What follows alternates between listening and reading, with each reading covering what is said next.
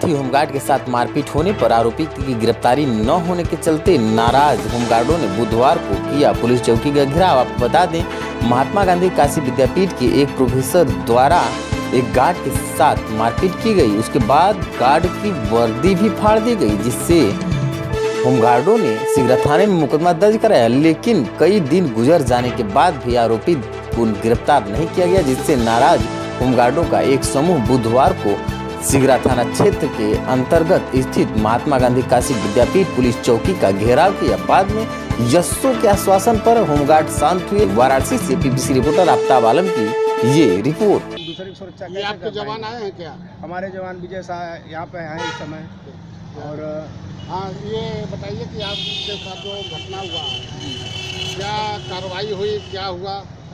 कार्रवाई तभी नहीं हुआ है। आश्वासन दिए हैं इंस्पेक्टर साहब कौन से थाने पर गए थे? जी। कौन से थाने पर गए थे? सिगरा थाने को गया एसओ साहब ने क्या बोला? वही कि हम हमारे लोग साथ हैं कार्रवाई हम करेंगे चार्जशीट लगाएँगे उनको गिरफ़्तार करेंगे वो आगे से बोले आप अधिकारी से संतुष्ट हैं एसओ साहब से? Charge sheet? मैं Ravikant Tripathi Uttar Pradesh home guard association जिला अध्यक्ष एवं डायल हंड्रेड प्रभारी। ये किस तरह घटनाएँ हुई थी? क्या है? क्या ये 22 तारीख को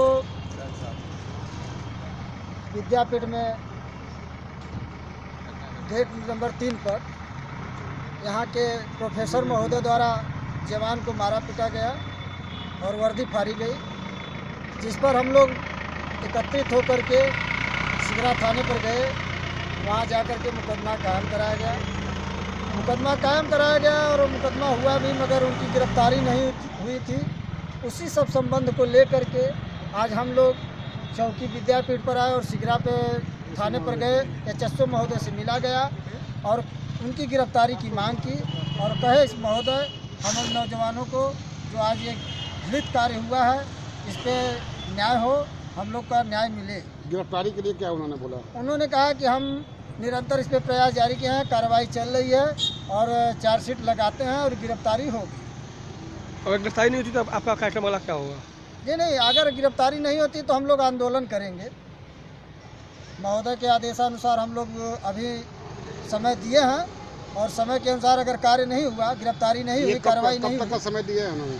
अभी तक तो हम लोग बोले हैं कि दो तीन दिन तक हम लोग देखते हैं। अगर दो तीन दिन तक नहीं कोई कार्य होता है तो हम लोग आगे अपना रणनीति बना करके सक्षम अधिकारी से मिल करके आंदोलन करने के लिए तैयार हैं।